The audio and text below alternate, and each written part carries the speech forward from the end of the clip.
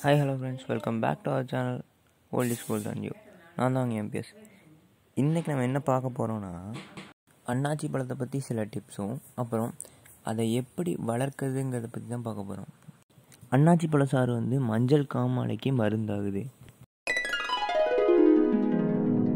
வயிறு நிறைய உணவு சாப்பிட்டாலும் அண்ணாச்சி பழத்துண்டு ஒரு பீஸ் சாப்பிட்டாவே போதும்.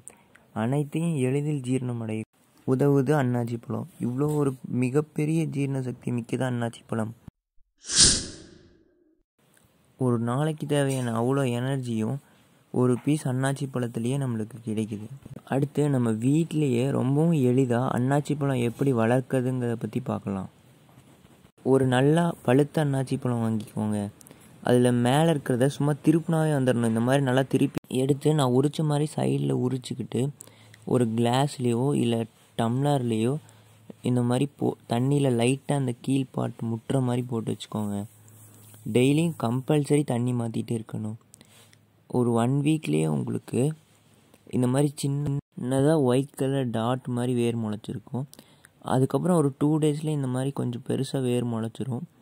ஒன்றா ஊற போட்டிங்கன்னா நல்லா இவ்வளோ பெருசாக ஆனதுக்கப்புறம் எடுத்து மண் ரெடி பண்ணி பாட்டில் நட்டிக்கோங்க. சாதாரணமாக நீங்கள் செடி வைக்கிற மண்ணிலே இதையும் நட்டிக்கலாம்.